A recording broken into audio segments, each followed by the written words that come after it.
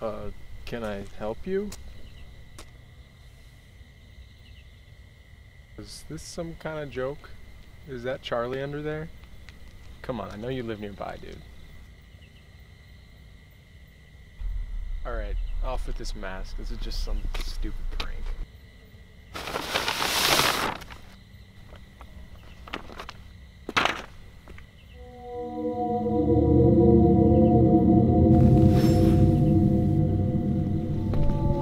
Thank you.